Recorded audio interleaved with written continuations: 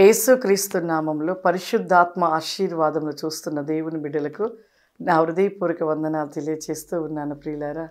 దినదినము కూడా ప్రార్థించుకునుట ఉదయమే పరిశుద్ధాత్మ ఆశీర్వాదం పొందుకునుట ఆ దినమంతా కూడా మన జీవితంలో దేవుడు విజయాన్ని అనుగ్రహిస్తూ ఉంటాడు.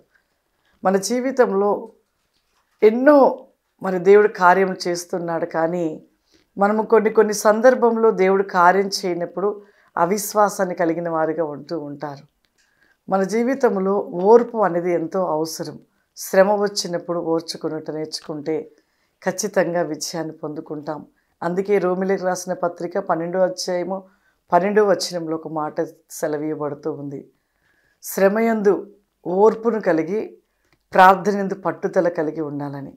శ్రమ వచ్చినప్పుడు ఓర్చుకునుట నేర్చుకుంటే మన జీవితంలో విజయం ఉంటుంది. కానీ ఓర్చుకోలేరు.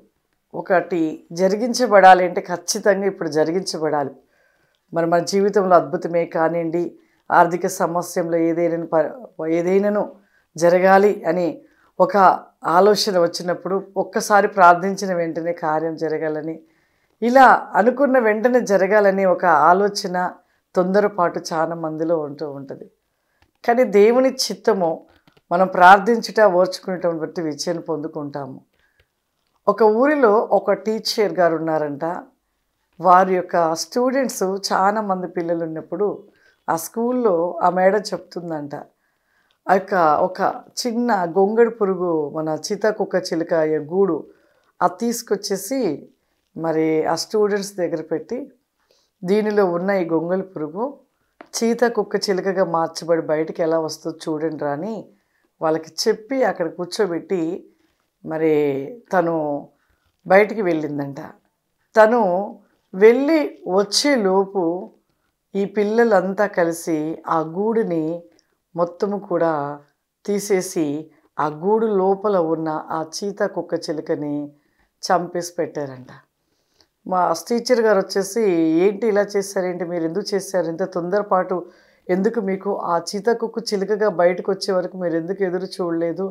ఎందుకు దాన్ని మీరు పగలు కొట్టేసి దాన్ని బయటికి తీసేశారు అనేసి అన్నప్పుడు వాళ్ళు చెప్తున్నారంట స్టూడెంట్స్.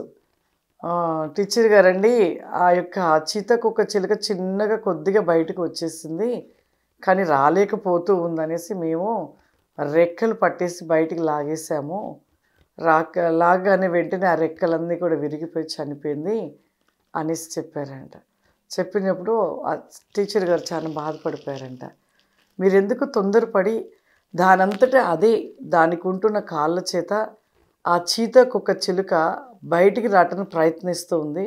ప్రయత్నించి అది బయటికి వస్తూ ఉన్నప్పుడు అది దాని యొక్క కాళ్ళల్లో మన శరీరంలో శక్తి పొందుకొని బయటికి ఎగరగలిగే శక్తిని పొందుకుంటూ ఉంటుంది. కానీ మీరు మరి ఆ యొక్క చీత కుక్క చిలుక బయటికి రాకముందే త్వరపడి దాన్ని బయటికి లాగి చంపివేశారని ఆ టీచర్ గారు చాలా బాధపడ్డారంట.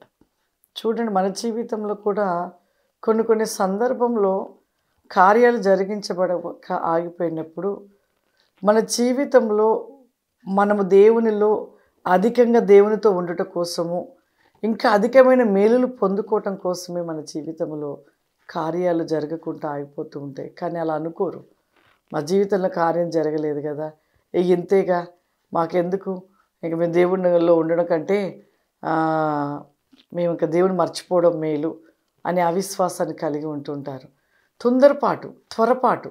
త్వరపాటు వల్ల నష్టపోయేది మనమే దేవుడు కాదు. అదే మనము ఓర్చుకొని ఓపికతో దేవుడు ఇచ్చేదాకా ఎదురు చూసినప్పుడు ఆ ప్రతిఫలం అంట చాలా అద్భుతంగా ఉంటుందంట. ఆ యొక్క అద్భుతమే కాదు చాలా దీవించబడతామంట ప్రియులారా. కాబట్టి మన జీవితంలో ఓర్పు అనేది చాలా అవసరము. ప్రతి విషయంలో దేవుడు ఇచ్చే వరకు ఎదురు చూడాలి. ఎదురు చూచుటను బట్టి మనము అధికంగా దీవించబడతాము ఆశీర్వదించబడతాము సమృద్ధిలోనికి మనము ముందుకు వెళ్ళిపోతూ ఉంటాము. కాబట్టి మన జీవితంలో దేవుడిచ్చే వరకు ఓర్చుకుంటూ ఎదురు చూచినప్పుడు ప్రతిఫలం పొందుకుంటాము. అందరి కళ్ళు మూసుకున్నట్లయితే ప్రార్థన చేసుకుందాం. సర్వశక్తివంతుడా దయగలిగిన తండ్రి నీకు వందనాలు చెల్లిస్తున్నాను ప్రభా. ఈ దినము ప్రభా మా జీవితంలో ప్రతివేక మతి అవరింగ్ మా పరిశుద్ధాత్మ ఆశీర్వాదం పొందుకున్నట్లు ఐకెని గ్లోజామాని షూరి మాందిరి షూరి కమాందర ప్రతివేకముగా ప్రభా ప్రతి హిస్టన్ బి శిలాస్మి. కృపని కృషిలాస్మి దయచేయమని యేసు క్రీస్తు నామం తండ్రి. ఆ మెయిన్ గాడ్ బ్లెస్ యూ. దేవుడు మిమ్మల్ని దీవించిన గాక ఆ మెయిన్